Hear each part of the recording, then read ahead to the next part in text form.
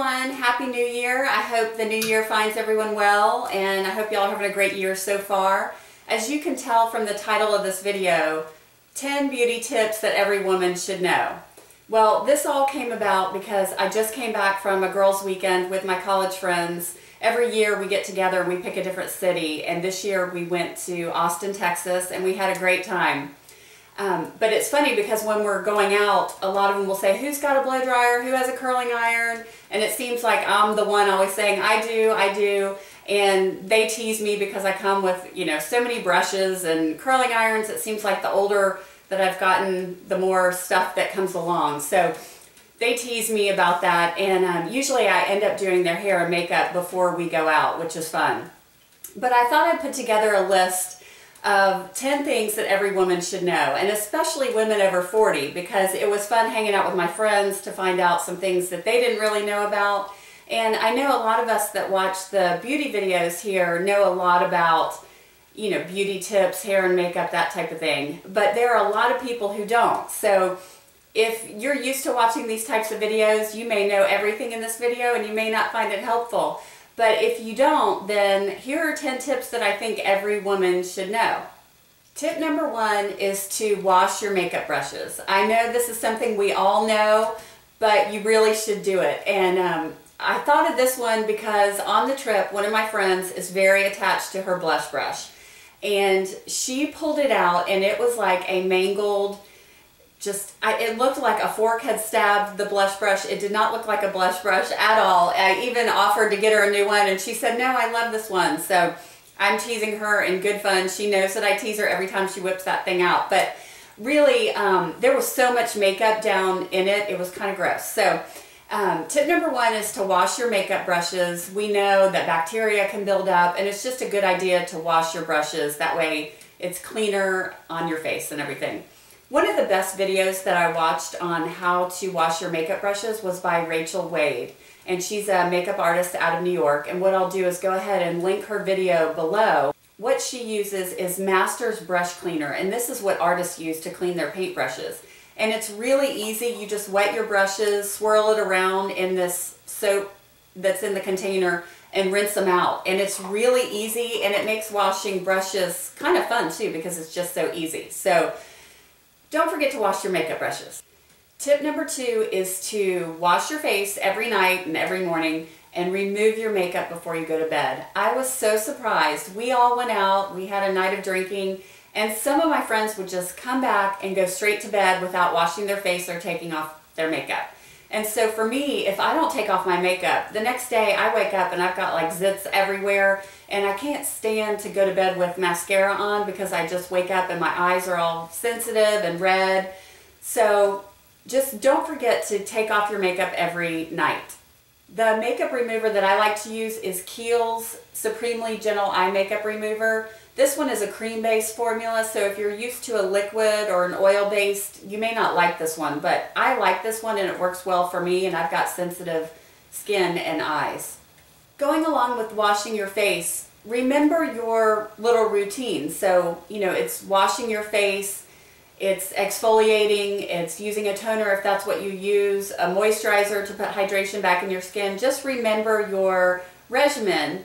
And that brings me to tip number three, which is to know your skin type so that you can select the products that are formulated for your skin type. One of my friends on the trip, I was putting makeup on her and I used the Laura Mercier foundation primer on her and was putting on her foundation and she said, why don't you use oil-free? And I said, I don't use oil-free because in the winter my skin is dry so I don't need the oil-free. And she's like, oh, my skin's dry too. So I was trying to explain to her that she's also got rosacea so it's important to know your skin type. That way you can find products that work for your skin. So if you are more dry in the winter, you'll use more hydrating products if you have oily skin, you can use some oil-free products, that type of thing. So tip number three is know your skin type and select products that are made for your skin type.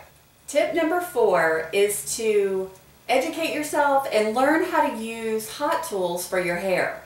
Um, I was surprised that one of my friends had never curled her hair herself.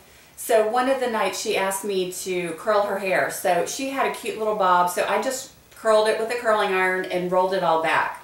Um, well, the next night I was doing another friend of mine's makeup and she said, Could I borrow your curling iron? So I said, Sure. And so she was in there and she comes out and we were dying laughing because she must have put the clamp going the wrong way and crimped it so bad that we actually had to wet her hair and re-blow it dry because we couldn't smooth it out with the curling iron. And she was laughing, saying that she had never curled her hair and she's 42 years old. So what I'll do is I have some videos on how to curl your hair, how to blow dry it, different brushes that you can use. I'll link some videos below on how to use curling irons and that type of thing. So that way you can do different things with your hair. Number five is to pick the correct foundation for your skin type and your coloring. So it's really important to find the right product for your skin. So if you have oily skin, maybe you want to use a mineral powder. If you have dry skin, maybe you want to use a liquid foundation. I think I read an article on choosing the right foundation, so I'll see if I can link that below. But it's great to go to a department store and they can test a couple shades on you and a lot of them will give you samples so that way you can take it home and try it as well before you invest in it. Same with Sephora, they are great at giving samples. So what you want to do is go in without any makeup on and they can test it kind of on your cheek to your jawline and whichever one you know you don't really see the most is going to be the match for your skin. So I see so many people walking around with the wrong foundation for their skin type and or the coloring is off. You know, remember in the winter we may need to switch it to a lighter color because in the winter most of us are more pale than we are in the summer. And we may even need to change the formula. So tip number five is to select the correct foundation for your skin type and your skin color. Tip number six is to blend. Blend your foundation, blend your blush, blend your eyeliner, blend everything. And if you think you've blended enough and you're ready to walk out the door, blend a little bit more because you can't be too blended is how I think about it. So especially foundation, some great tools for blending your foundation are the Beauty Blender. This one's dirty because I used it. This is a great way to blend your foundation. I love this. I think the Beauty Blender is the best one. I've tried the one from Target and it just wasn't as good as this one. Or use a foundation brush. This one is the Sigma F82 use a brush to blend in your foundation because there's nothing worse than seeing the line, um, you know, with the different colors on your face. So blend your foundation.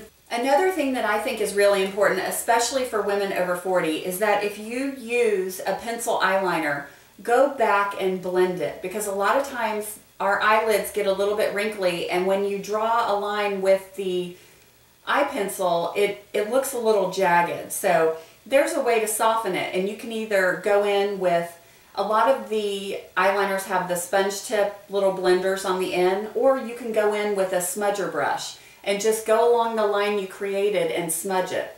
Um, I think it looks much better than just a drawn line that's not blended at all. If you're using a gel eyeliner, it's probably going to come off a little bit smoother because you're putting it on with a brush. Same with a liquid, it goes on with a brush. And if you still find that the, the edges are too harsh, what you can do is go over it with an eyeshadow that matches. Use a little smudger brush and just go over it with an eyeshadow. That way you can soften the lines and it doesn't look so harsh. So that tip is to blend everything.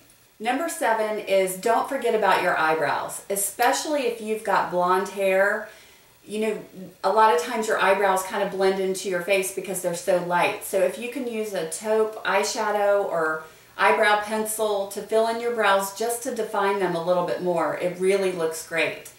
Um, also, if you've got dark eyebrows, if you go and do this beautiful smoky eye look and your eyebrows are just mangled, it ruins the whole look. So just, you know, pluck them or have someone go to a salon and have someone do it so you can follow the lines. I have someone pluck mine. I can't get them waxed because I break out. And then I just kind of follow the lines in between when she does it and just pluck them and trim them myself. I don't have a video on eyebrows, but I'll see if I can find one and link it below.